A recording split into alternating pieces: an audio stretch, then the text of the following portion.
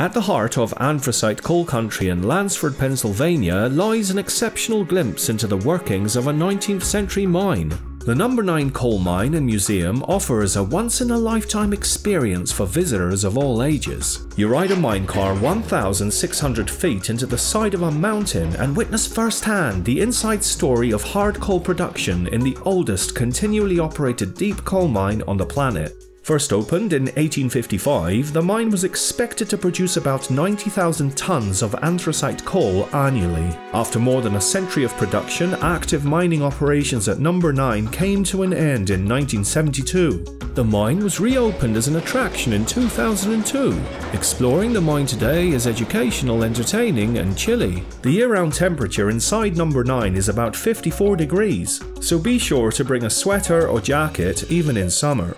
Your guided tour begins with a bumpy ride aboard a steel mesh enclosed minecar through what seems like an endless tunnel. Upon exiting the car, you are deep inside the mountain with 900 feet of rock above your head. The hint of danger is delicious, yet your guide assures you of the mine's safety. You walk within gangways excavated long ago as your guide shares fascinating human interest stories, including the many perils of coal production. Mining was not an easy way to make a living. During the tour, you visit a 900 foot deep elevator shaft and an underground miner's hospital. As you come to a mule passageway, you learn about the key roles played by mules and children in the early days of mining. Return to the surface to find a former wash shanty, the present day mine museum. It's another fascinating place to explore. Check out the place where miners used to exchange their soot laden clothes and mining gear for more acceptable streetwear at the end of each shift. Take in the exhibits. See mining era photographs, paintings, models, and other displays of a time long since past. Examine mining drills, props, tools, blasting equipment, and many other items used by the tough individuals who once worked in the historic Number 9 mine.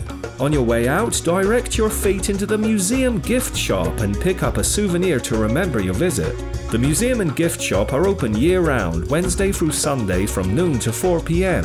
The mine is open for guided tours on Friday, Saturday, and Sunday from May to Labor Day, and on Saturday and Sunday from Labor Day through October.